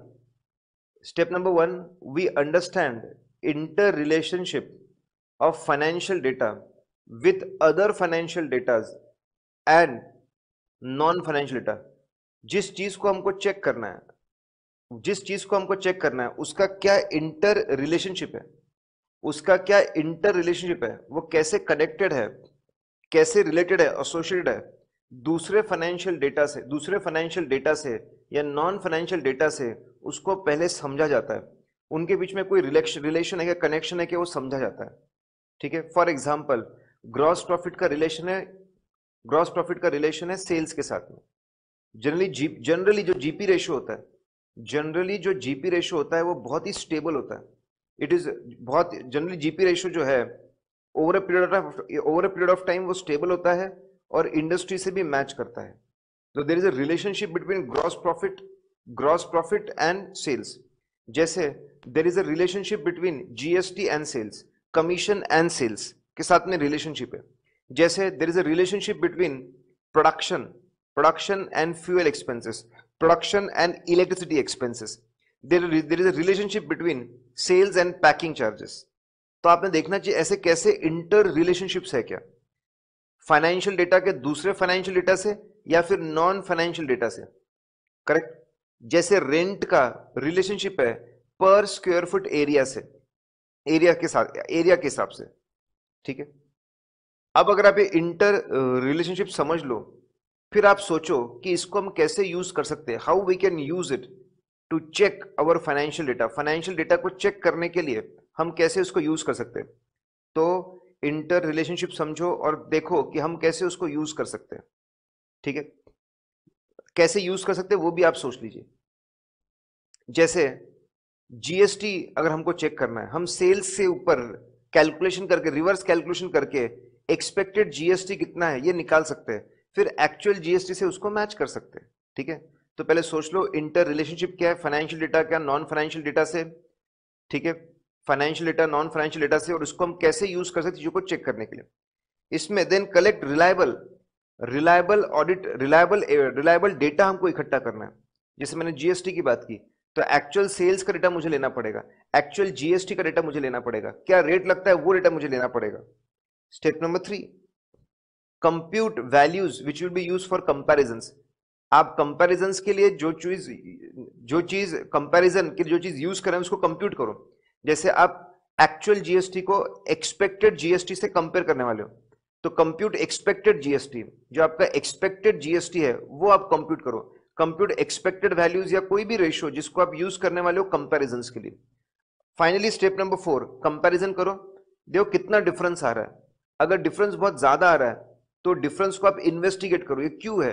अगर जस्टिफाइड डिफरेंस तो ठीक है, नहीं तो फिर आपको डिफरेंस की वजह से मटेरियल मिस स्टेटमेंट मिल सकता है। This is analytical procedures technical definition देखने जाओगे तो घूम जाओगे, गोल गोल, समझ में ही नहीं आएगा। लेकिन अब समझ में आ जाएगा। बहुत आसान सा है। एनालिटिकल प्रोसीजर एक तरीका है फाइनेंशियल डेटा को चेक करने का। इसमें we understand plausible probable inter relationship between financial data and other with other financial data और नॉन फाइनेंशियल डेटा ठीक है? And we understand the relationship and we also think how we can use this to perform perform examination step number two we collect reliable reliable step number three ठीक है? We compute expected values we compute the values and ratios which will be use in comparison and step number four हम comparison करते हैं. Difference ज़्यादा मिलता है, उसको investigate करते अब exam relationships can be financial relationships also और नॉन फाइनेंशियल रिलेशनशिप्स ऑल्सो जब चीज़ें रुपीज़ में होती है तो फाइनेंशियल हो जाती है. अदर देन रुपीज़ होती है तो नॉन फाइनेंशियल हो जाती है. ठीक है? जैसे जीपी रेशियो है. न्यूमरेटर डिनोमिनेटर दोनों रुपीज़ में है. It is a financial relationship लेकिन अगर मैं बोलता हूँ production per employ production number of units में है एम्प्लॉयज़ नंबर में है, ये नॉन फाइनेंशियल रिलेशनशिप हो जाएगी। ठीक है? सिंपल कंपैरिजन हो सकते हैं। इस साल के डेटर को मैं पिछले साल से कंपेयर कर लूँ, एकदम सिंपल कंपैरिजन हो जाएगा। या फिर, ठीक है? एकदम सिंपल आसान सा कंपैरिजन हम लोगों ने कर दिया। या फिर बहुत ही, हम लोगों ने हिस्टोरिकल डेटा लिया हिस्टोरिकल डेटा लिया। कॉस्ट ऑफ़ प्रोडक्शन और प्रोडक्शन का, उसको ग्राफ पे प्लॉट किया। हिस्टो, उसको ग्राफ पे प्लॉट किया कि इतने क्वांटिटी पे इतना कॉस्ट इतने क्वांटिटी पे इतना कॉस्ट इतना रोल कॉस्ट ग्राफ पे प्लॉट किया, एक लाइन निकाली, लाइन ऑफ़ रिग्रेशन। उससे इक्वेशन निकाला। इक्वेशन की मदद से हम लोगों ने टिकट प्रिडिक्ट किया what will be total cost of production this year और फिर उसको कंपेयर किया एक्चुअल प्रोडक्शन कॉस्ट से। ये बहुत कॉम्प्लिकेटेड हो गया। तो बहुत इजी भी हो सकते हैं। बहुत कॉम्प्लेक्स भी हो सकते हैं। हिस्टोरिकल डेटा को लेना ग्राफ पे प्लॉट करना लाइन ऑफ़ रिग्रेशन निकालना, वहाँ से इक्वेशन निकालना इक्वेशन की मदद से प्रिडिक्ट करना, ये कॉम्प्लिकेट सा हो गया कितने तरह कंपैरिजन होते हैं? चार तरह कंपैरिजन अगर हम अगर हम चीज़ों को पिछले साल से कंपेयर करते हैं, पिछले सालों से कंपेयर करते हैं तो उसको बोला जाता है ट्रेंड एनालिसिस ठीक है? देखो, मेरे दिमाग में एक सीक्वेंस है। पिछले साल से कंपेयर किया ट्रेंड एनालिसिस ओपनिंग में बजट बनते हैं। अगर हम इसको ओपनिंग बजट से कंपेयर करते हैं ओपनिंग बजट से कंपेयर करेंगे that will be comparative analysis उसको कंपेरेटिव एनालिसिस बोला जाएगा। अगर हम इसको that will be comparative analysis अगर हम इसको खुद के, खुद ने जो एस्टिमेट बनाए थे उससे कंपेयर करेंगे तो उसको प्रोडिक्टिव एनालिसिस बोला जाता है। और साल खत्म होने के बाद दूसरे लोगों से कंपेयर करेंगे तो उसको इंटर फर्म एनालिसिस बोला जाएगा। पिछले साल से कंपैरिजन ओपनिंग से कंपैरिजन खुद के एस्टिमेट से कंपैरिजन और ईयर एंड में इंटर फर्म कंपैरिजन ठीक है? आ जाइए वापस अपने नोट्स पे। ये सारी बातें हम लोगों ने डिस्कस कर ली। अगर अगर, आइए 520.05 पे हम लोग। 520.05 पे है। एनालिटिकल प्रोसीजर्स अगर हमको लगाना है एनालिटिकल प्रोसीजर्स अगर हमको लगाना है तो उस एरिया के लिए सूटेबल होना चाहिए। It should be suitable for that area जैसे मैंने समझाया कि जीएसटी के लिए इट इज़ सूटेबल लेकिन लीगल एक्सपेंस के साथ it is not suitable legal expense के साथ सूटेबल बिल्कुल नहीं है, क्योंकि लीगल एक्सपेंस का किसी भी चीज़ के साथ में एक प्रिडिक्टेबल रिलेशनशिप नहीं है। करेक्ट तो कुछ एरियाज़ में कुछ एरियाज़ में, कुछ एरियाज़ में इट इज़ वेरी सुटेबल कुछ फाइनेंशियल आइटम्स में एनालिटिकल प्रोसीजर्स ठीक है? अमाउंट्स को रेशियोज को कंपेयर करना बहुत सूटेबल रेशियोज कंप्यूट करना आसान होता है। उसको कंपेयर करना अच्छा होता है, अच्छे सूटेबल होता है, अच्छे रिज़ल्ट हमको मिलते हैं। लेकिन कुछ एरियाज़ में सूटेबल नहीं होता है। अब इसका question factors affecting suitability factors affecting suitability तो यहाँ पे क्वेश्चन है ठीक है फैक्टर्स अफेक्टिंग सुटेबिलिटी के बारे में हम बात कर रहे हैं। यहाँ पे क्वेश्चन है, ठीक है? एक फैक्टर पे उन्होंने इसके फैक्टर्स आते हैं अलग अलग एक फैक्टर पे इन्होंने क्वेश्चन पूछा है वॉल्यूम तो बोले definitely large volume of data अगर लाखों लाखों करोड़ों ट्रांजैक्शन है, लाखों करोड़ों ट्रांजैक्शन है, ठीक है, देखिए सब्सटैंशिएट करने के दो तरीके होते हैं। सब्सटैंशिएट करने के मतलब सब्सटैंटिव प्रोसीजर जब actual income expense asset liability को हम चेक करते हैं फाइनेंशियल डेटा को हम लोग चेक करते हैं, उसको हम बोलते हैं सब्सटैंशिएट करना सब्सटैंटिव प्रोसीजर्स उसके लिए पहला तरीका है, आप एनालिटिकल प्रोसीजर्स परफॉर्म करो। Ratio analysis graphic amount ratios आप कंपेयर करो पिछले सालों से बजट से, दूसरों से एंड सोन उसको हम बोलते हैं एनालिटिकल प्रोसीजर्स या फिर दूसरा, या फिर दूसरा, मैदान में उतरो परफॉर्म टेस्ट ऑफ़ डिटेल्स ठीक है? हमको देखना पड़ता है कौन सा ज़्यादा सुटेबल है। Now large volume of transaction है। लाखों करोड़ों ट्रांजैक्शन है। कितना टेस्ट ऑफ़ डिटेल कर लोगे, कितनी वाउचिंग कर लोगे। लार्ज वॉल्यूम ऑफ़ ट्रांजैक्शन में कितनी भी अगर आप टेस्ट ऑफ़ डिटेल करने के लिए जाओगे तो आपकी चेकिंग कम पड़ जाएगी। इतने तो आपके पास में टाइम ही नहीं होता, इतना तो आपके पास में बजट ही नहीं होता। तो फिर क्या किया जाए? हमको लार्ज वॉल्यूम ऑफ़ डेटा है तो हमको analytical procedures analytical procedures comparison of data comparison of ratios graph ये सारी चीज़ें हमारे लिए ज़्यादा सुटेबल है फॉर श्योर ठीक है? ये ज़्यादा सुटेबल रहेगी। लेकिन डेफिनेटली इसमें और बातें आती हैं। प्रिडिक्टेबल रिलेशनशिप्स होनी चाहिए। प्रिडिक्टेबल प्रिडिक्टेबल रिलेशनशिप होनी चाहिए, तब जाके इफ़ेक्टिव होगा। ठीक है? मतलब रिलायबल रिलेशनशिप होनी चाहिए, तब जाके तब जाके जो एनालिटिकल प्रोसीजर्स है, वो रिलायबल हो गए। सर एग्ज़ाम्पल जैसे जीपी रेशियो मैंने बोला। जीपी रेशियो मैंने बोला। GP ratio suppose over period of time constant है, ये रेस्टोरेंट है जो हमेशा अपनी कॉस्ट पे 25 परसेंट सिर्फ़ 25 परसेंट प्रॉफिट ऐड करता है और बेचता है। यही उसका सिंपल प्रिंसिपल सालों से यही है। और और चार पाँच रेस्टोरेंट और इंडस्ट्री में कुछ रेस्टोरेंट है यहाँ पे जो ये सेम फॉलो करते हैं। अब इतना फिक्स्ड है ये जीपी रेशियो इतना ज़्यादा फिक्स्ड है जिसके ऊपर सब लोग चलते हैं तो GP ratio analysis is very predictable बहुत ही रेशियो बहुत प्रिडिक्टेबल है।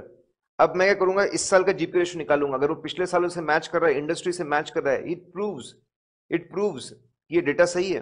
ये मुझे भरोसा दिलाता है, ये मुझे अश्योरेंस देता है, ये मुझे कॉन्फिडेंस देता है।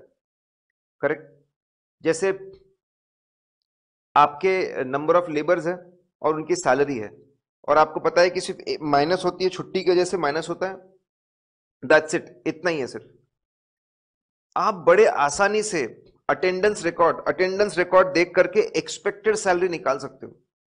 बड़े आसानी से बड़े आसानी से प्रिडिक्ट कर सकते हो एक्सपेक्टेड सैलरी और एक्चुअल सैलरी को आप मैच कर सकते हो। अगर प्रिडिक्टेबल रिलेशनशिप्स है इफ़ेक्टिव रिलेशनशिप्स है तो हम इसको बहुत अच्छे से यूज़ कर सकते हैं चेकिंग करने के लिए। जीपी रेशियो को बहुत अच्छे से यूज़ कर सकते हैं। ये देखने के लिए कुछ अनयूजल तो नहीं हुआ है, ठीक है?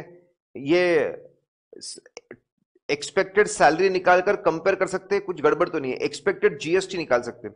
जितना इफ़ेक्टिव रिलेशनशिप रहेगा, उतना अच्छा। तो बहुत सिंपल है।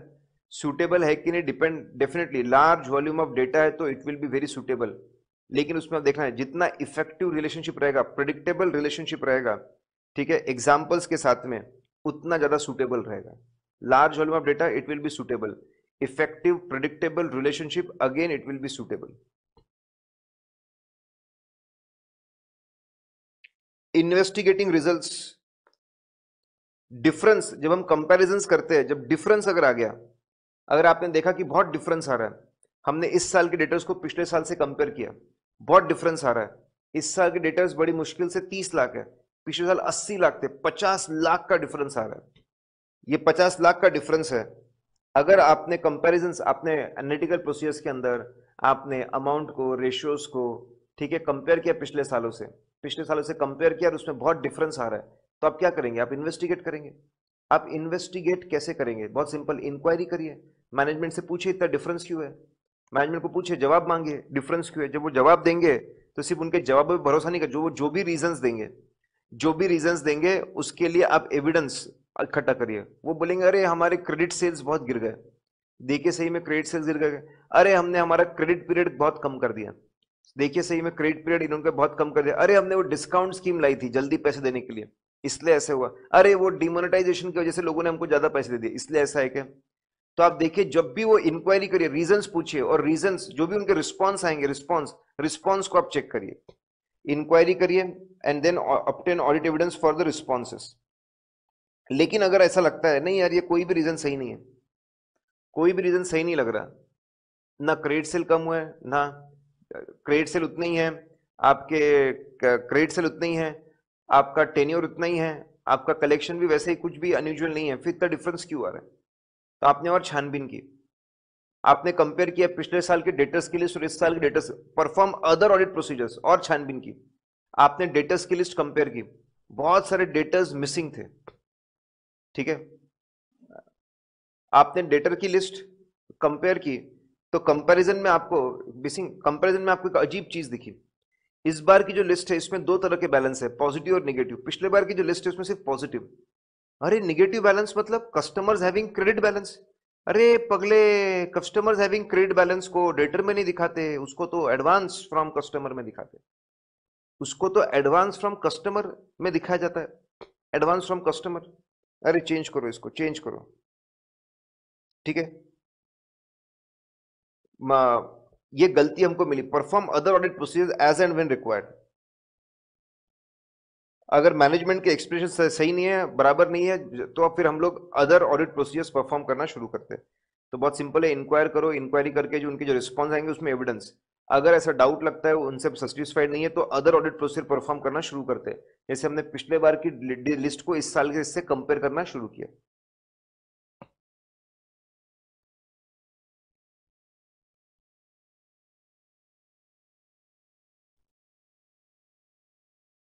साढ़े नौ बजे हमारा पहला ब्रेक होगा। डोंट वरी गाइस तब तक बने रहिए टिके रहिए। और आ, मैंने बोला अगर थोड़ा आपको जब भी लगे आप तो खुद आपका ब्रेक ले सकते हो ठीक है? Now sampling risk what is sampling risk ठीक है? एक्स्ट्रा नोट्स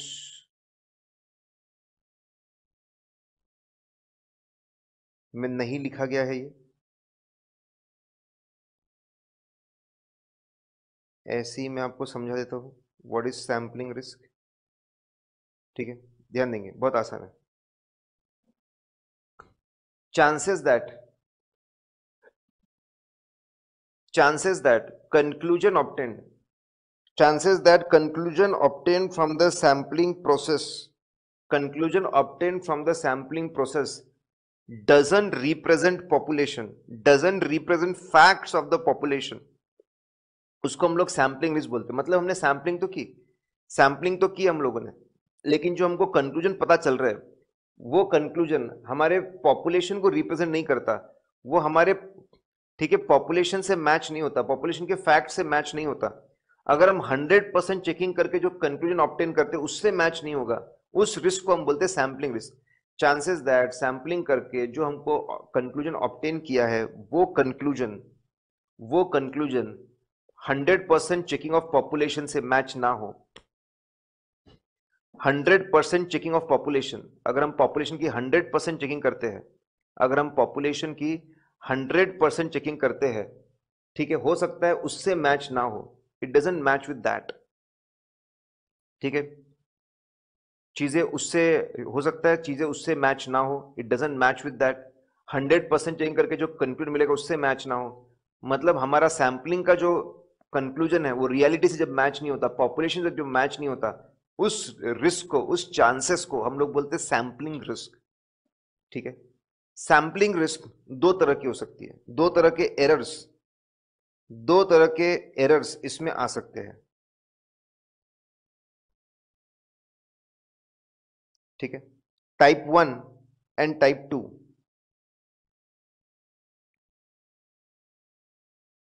type one और type two type one error और टाइप टू एरर ठीक है? टाइप वन मतलब सैंपलिंग करके हमको ऐसा लग रहा है, सब सही है। Everything is good everything is good हमको ऐसा लग रहा है, सब सही है, सब। सब सही है, सारी चीज़ें एकदम सही लग रही है हमको। एवरीथिंग इज़ गुड ठीक है? अब हमको सब सही लग रहा है।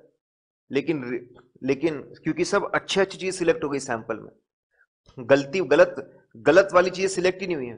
टाइप वन एरर मतलब हो सकता है सैंपल के अंदर सब सिर्फ़ अच्छी वाली चीज़ें सिलेक्ट हो गई है। ऑल द गुड थिंग्स ठीक है?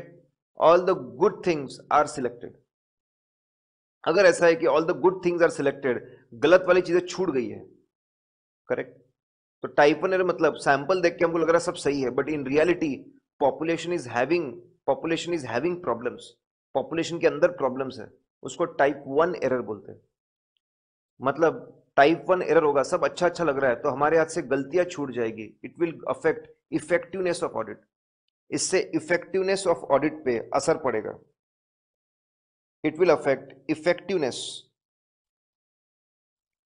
effectiveness of audit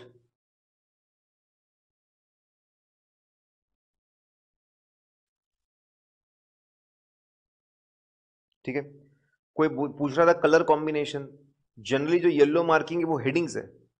yellow green colour के लिए जो ग्रीन कलर में जो मार्किंग्स है, वो क्वेश्चन की इंपॉर्टेंट पॉइंट्स है. येलो कलर की जो मार्किंग मार्किंग्स है, वो हेडिंग्स है. येलो कलर की जो मार्किंग वो हेडिंग्स है.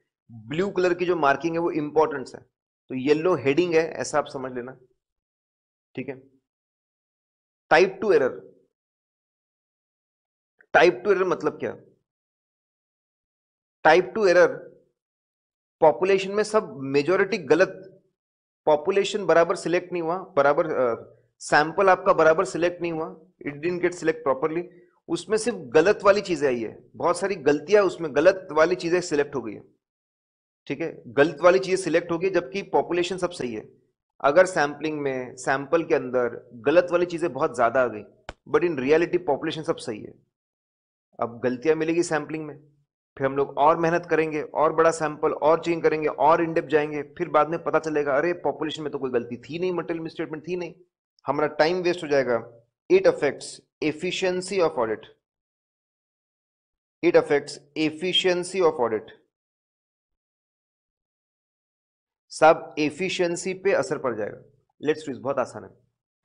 ठीक है? देखो सैंपलिंग के, हम लोग सैंपलिंग के अंदर हम लोग सैम्पलिंग के अंदर हम लोग रैंडम सैम्पलिंग के अंदर हम लोग रैंडमली रैंडमली यूनिट सिलेक्ट करते हैं। ये यूनिट सिलेक्शन में गड़बड़ हो सकती है। They are chance unit selection में गड़बड़ हो सकती है। ठीक है? हो सकता है ऐसा सैंपल सिलेक्ट हो जो पॉपुलेशन को रिप्रेजेंट नहीं करता हो। जो एकदम पॉपुलेशन जैसा ना हो, ऐसा हो सकता है। मतलब हो सकता है सब अच्छी चीज़ें सिलेक्ट हो जाए, जबकि पॉपुलेशन में बड़ी बड़ी गलतियाँ है। That is type one error हो सकता है, ठीक है? हो सकता है पॉपुलेशन में सब गलत गलत चीज़ सिलेक्ट हो जाए, जबकि पॉपुलेशन में मेजोरिटी चीज़ें सही थी सब कुछ।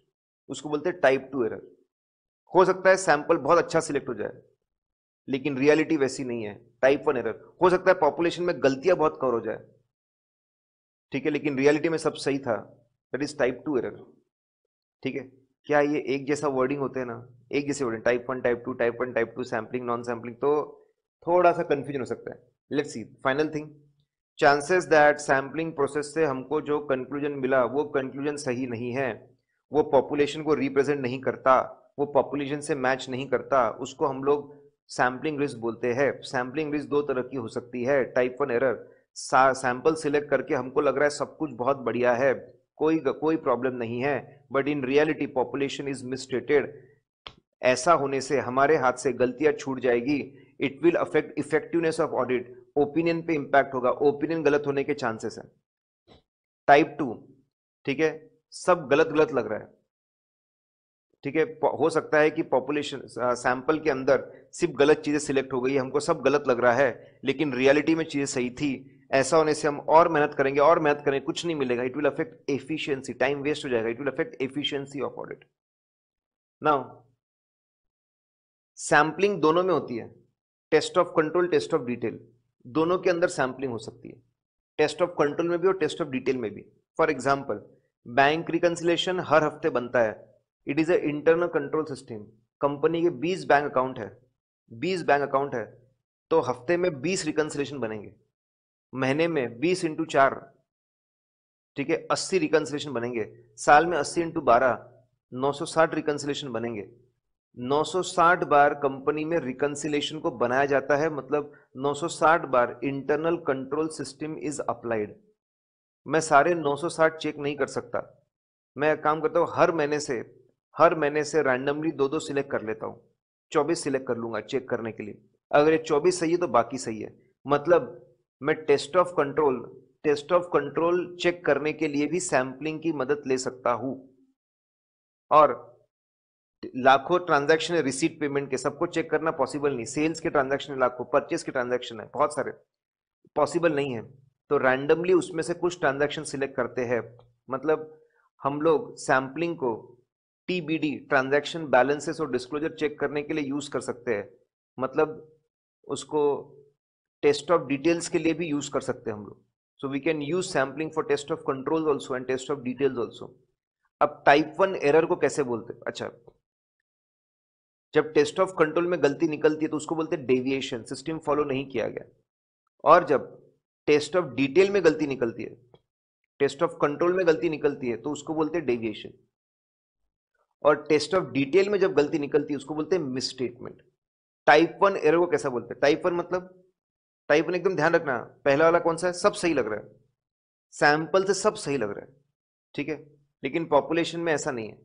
टाइप वन सब सब सही लग रहा है। अगर टेस्ट ऑफ़ कंट्रोल में सब सही लग रहा है, इससे क्या प्रॉब्लम हो जाएगा? Over reliance on controls over reliance on control हो जाएगा। ओवर रिलायंस ऑन कंट्रोल हो जाएगा। ठीक है? टेस्ट ऑफ़ डिटेल में क्या होगा? टेस्ट ऑफ़ डिटेल में हम हर चीज़ को no misstatement no misstatement no misstatement मानने लग जाएँगे। Correct but in reality there is a misstatement we will conclude no misstatement but in reality there is a misstatement ये प्रॉब्लम हो सकता है. Type two error type two error सब गलत गलत लग रहा है सैंपलिंग में, लेकिन सब सही था. सब गलत गलत लग रहा है. टेस्ट ऑफ़ कंट्रोल में इसका क्या इफ़ेक्ट होगा? Under reliance on controls controls पे हम भरोसा कम कर देंगे एरर की वजह से. टेस्ट ऑफ़ डिटेल में क्या होगा? टेस्ट ऑफ़ डिटेल में हम लोग misstatement material misstatement मान लेंगे. ठीक है? जबकि था ही नहीं. ये एरर का क्या इफ़ेक्ट हो सकता है? टेस्ट ऑफ़ कंट्रोल पे और टेस्ट ऑफ़ डिटेल में वो हमने डिस्कस किया। Let's freeze guys sampling risk हम लोगों ने डिस्कस किया। Type one type two error discuss किया। और टाइप वन एरर को test of control test of detail में कैसे बोलेंगे? टाइप टू एरर को कैसे बोलेंगे? वो हम लोगों ने देखा। था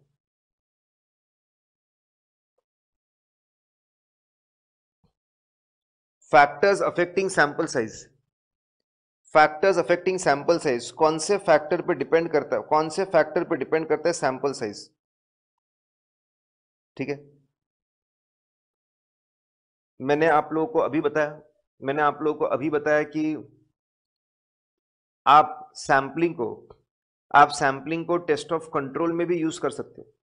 आप सैंपलिंग को टेस्ट ऑफ़ कंट्रोल में भी यूज़ कर सकते हो और आप सैंपलिंग को टेस्ट ऑफ़ डिटेल में भी यूज़ कर सकते हो। ठीक है? दोनों में हमको सैंपल साइज़ तय करना पड़ेगा। सैंपल साइज़ को बढ़ाना चाहिए, बड़ा करना चाहिए, कम करना चाहिए। कौन से फैक्टर्स पे डिपेंड करता है? दोनों के फैक्टर्स एकदम सेम है। एक ही बार फैक्टर पढ़ो, दोनों जगह लिख सकते हैं आप। Same factor same factor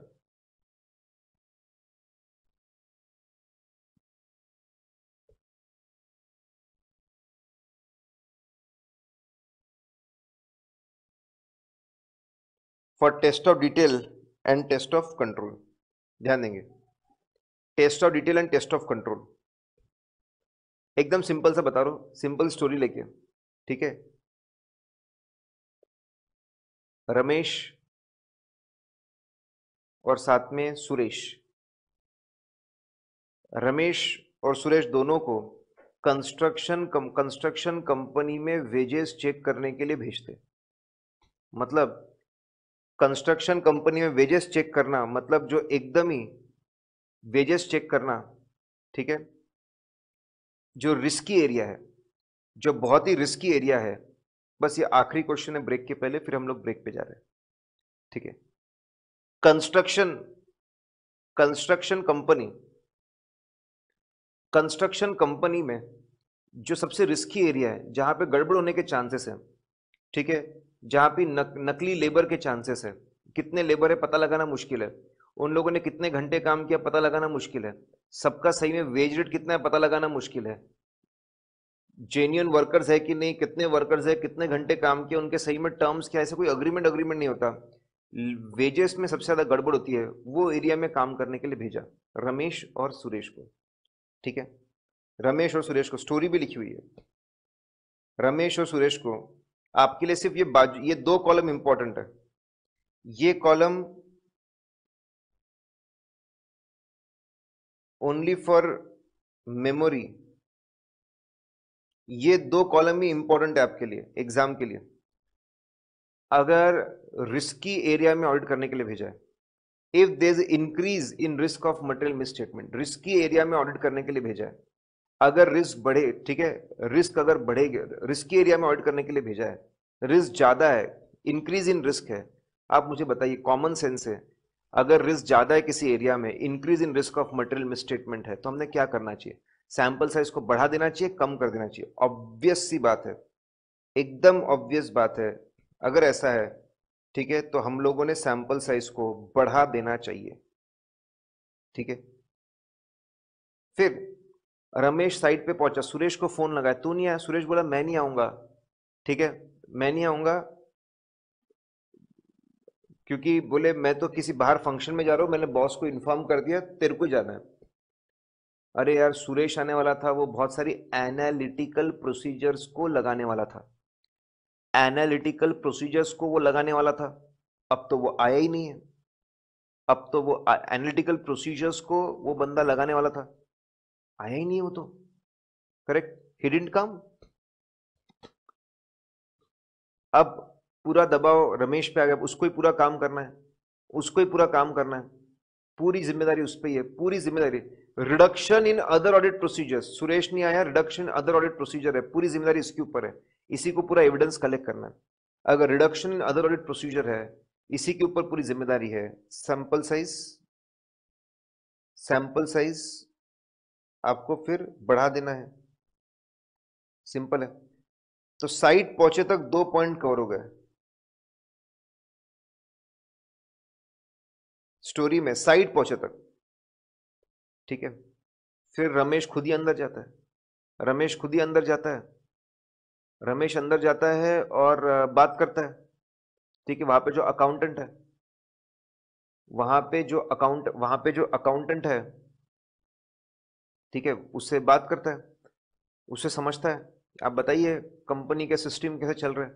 बोले, सिस्टम के हिसाब से तो सिस्टम के हिसाब से तो सिस्टम के हिसाब से तो बोले साहब, तीन सुपरवाइजर होने चाहिए वेजेस कैलकुलेट करने के लिए।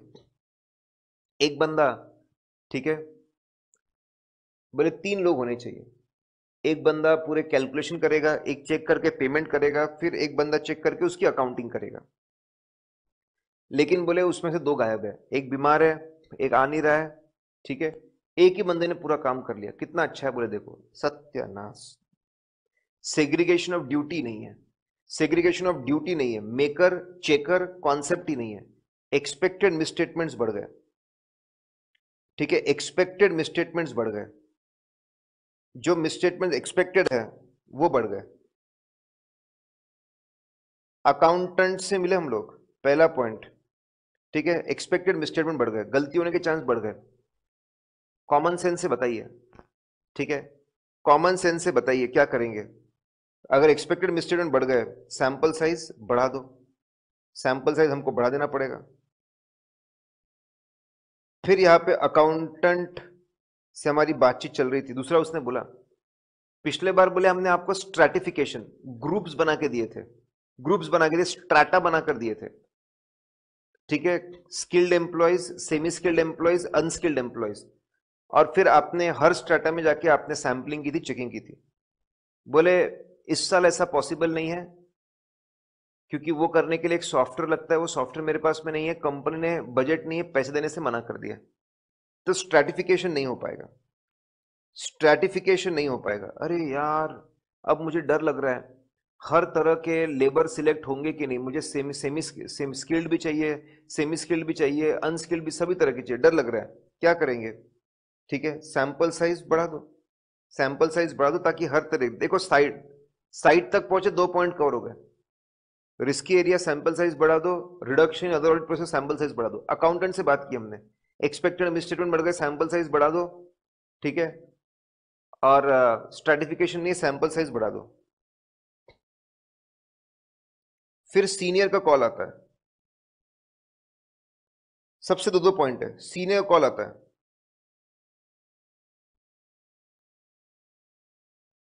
दो पॉइंट यहाँ पर भी। सीनियर क्या बोलते हैं?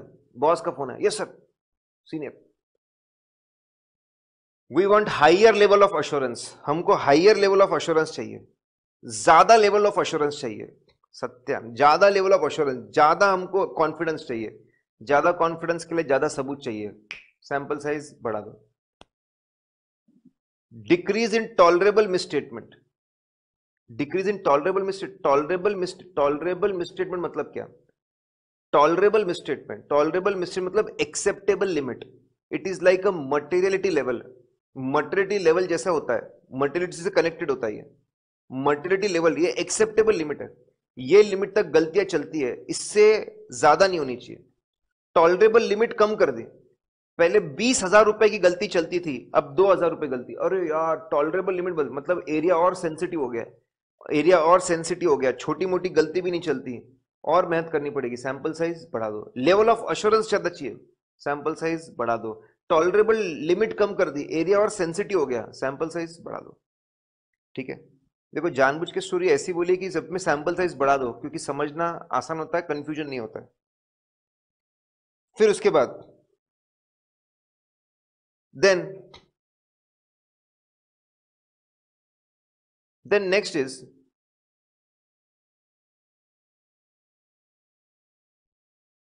population size बढ़ गई। पिछले साल तक, पिछले साल तक, ठीक है 2000 लेबर हुआ करते थे, इस बार बढ़ के 3000 लेबर हो गए, ठीक है, क्या लिखा है? कैसे इंपैक्ट होगा? अगर स्मॉल पॉपुलेशन है, छोटी population if there is a small population अगर छोटी पॉपुलेशन है, ठीक है? छोटे पॉपुलेशन में क्या होगा? छोटे पॉपुलेशन में अगर सैंपल साइज़ बढ़ेगी, अगर पॉपुलेशन साइज़ बढ़ती है तो करस्पॉन्डिंग सैंपल साइज़ भी बढ़ती है। स्मॉल देखो, अगर स्मॉल पॉपुलेशन स्मॉल पॉपुलेशन जैसे 10 20 है 10 है 10 का 20 हो गया। अगर स्मॉल पॉपुलेशन बढ़ती है तो सैंपल साइज़ भी बढ़ती है। लार्ज पॉपुलेशन लार्ज पॉपुलेशन में सैंपल साइज़ बढ़ने से फ़र्क नहीं पड़ता। लार्ज रीजन है उसके लिए। स्मॉल पॉपुलेशन बढ़ती है मतलब वेराइटी ऑफ़ यूनिट्स भी बढ़ सकते हैं तो पॉपुलेशन साइज़ बढ़ती है। लार्ज पॉपुलेशन ऑलरेडी सारी वेराइटी कवर्ड थी। लार्ज पॉपुलेशन में अगर इंक्रीज भी होता है तो कोई फ़र्क नहीं लार्ज पॉपुलेशन में इंक्रीज भी होता है वेराइटी में कोई खास जनरली असर पड़ता नहीं है। जनरली कोई खास असर नहीं पड़ता है। ठीक है?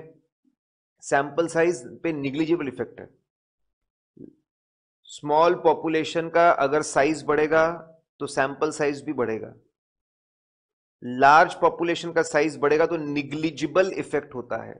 There is a negligible effect. ठीक है? ये बात समझिए आपको? इज़ दिस पॉइंट क्लियर तो रिलेशनशिप डिपेंड करता है। स्मॉल पॉपुलेशन की साइज़ बड़ी है कि लार्ज पॉपुलेशन की साइज़ बड़ी है। एक मॉनिटरी यूनिट सैंपलिंग होती है। मॉनिटरी यूनिट सैंपलिंग पैसों को बहुत ज़्यादा ध्यान देता है पैसों को बहुत ज़्यादा इंपॉर्टेंस दिया जाता है, ध्यान दिया जाता है, उसको हम लोग बोलते हैं मॉनिटरी यूनिट सैंपलिंग ये फॉर्मूला आपके कोर्स में नहीं है, सिर्फ़ इतना है सैंपल साइज़ इनटू कुछ तो भी कॉन्फिडेंस फैक्टर रहता पॉपुलेशन की वैल्यू रहती और टॉलरेबल मिसस्टेटमेंट मतलब मटेरियलिटी टॉलरेबल लेवल मटेरियलिटी से कनेक्टेड होता है। मटेरियलिटी बढ़ती है टॉलरेबल लेवल बढ़ता है, कम होता है टॉलरेबल लेवल कम होता है। सर, ये फॉर्मूला क्या करेंगे? सुनिए। आप फॉर्मूले में देखिए सैंपल साइज़ पॉपुलेशन ऊपर है न्यूमरेटर में मतलब डायरेक्ट रिलेशनशिप है, ठीक है? अगर पॉपुलेशन की वैल्यू 20 परसेंट से बढ़ गई मतलब मैं इसको इनटू कर दू, अगर मैं इसको मल्टीप्लाई करूँ 1.20 से तो सैंपल साइज़ भी 20 परसेंट से बढ़ जाएगा, है ना? पॉपुलेशन अगर 20 परसेंट से बढ़ गया, ये मॉनिटरी अभी से इतना समझिए मॉनिटरी यूनिट सैंपलिंग होती है जिसमें मॉनिटरी अमाउंट्स ठीक है, बिल बिल के इनवॉइस के मॉनिटरी अमाउंट को सबसे ज़्यादा इंपॉर्टेंस दिया जाता है। ऐसा आप समझिए सिर्फ़ अभी अभी के लिए, आगे देखेंगे हम लोग। ट्वेंटी परसेंट से पॉपुलेशन की वैल्यू बढ़ जाएगी तो सैंपल साइज़ भी ट्वेंटी परसेंट से बढ़ जाएगा न्यूमरेटर में। लेकिन अगर मटेरियलिटी लेवल भी ट्वेंटी परसेंट से बढ़ गया टॉलरेबल लिमिट भी ट्वेंटी परसेंट से बढ़ गया। ठीक है? तो ये दोनों इफ़ेक्ट एक मेक को नलीफाई कर देंगे। एक मेक को नलीफाई कर देंगे और सैंपल साइज़ में कोई असर नहीं पड़ेगा। तो सुनो ध्यान से, क्या स्टेटमेंट बोल रहा हूँ? In monetary unit sampling if value of the population increases sample size increases but if materiality also increases proportionately उतने से ही अगर मटेरियलिटी भी इंक्रीज होगा then the effect will gets offset effect set off हो जाएगा effect will get set off and there will not be any change in the sample size I hope आपको समझ में आया? ये स्टेटमेंट यहाँ पे लिखा हुआ है ऊपर में। स्मॉल पॉपुलेशन में सैंपल साइज़ बढ़ेगा पॉपुलेशन साइज़ बढ़ेगा सैंपल साइज़ बढ़ेगा। लार्ज पॉपुलेशन में पॉपुलेशन साइज़ बढ़ेगा निग्लिजिबल इफ़ेक्ट कोई खास असर नहीं होगा। ठीक है? अगर आप 300 200 चेक करके 2000 के बारे में ओपिनियन बना सकते हो तो वही 200 चेक करके 3000 के बारे में भी ओपिनियन बना सकते हो। लार्ज पॉपुलेशन में निग्लिजिबल इफ़ेक्ट है। और मॉनिटरी यूनिट सैंपलिंग में मॉनिटरी यूनिट सैंपलिंग में सिंपल है। आपको मॉनिटरी यूनिट सैंपलिंग के अंदर आपको देखना है ठीक है? इज़ दिस पॉइंट क्लियर अभी। ओके okay, अभी यहाँ पे हम लोग ब्रेक ले रहे हैं। वी टेक अ ब्रेक अभी नौ बजकर चालीस मिनट हुए ठीक है? चालीस मिनट हुआ ऐसा हम लोग मान लेते तो चालीस आधा घंटा, दस बजकर दस मिनट पे, दस बजकर दस मिनट पे हाँ दस बजकर दस मिनट पे हम लोग शुरू करेंगे हमारा क्लास। आधे घंटे बाद हम लोग शुरू करेंगे और वहाँ से डेढ़ घंटा उसको लेके जाएँगे।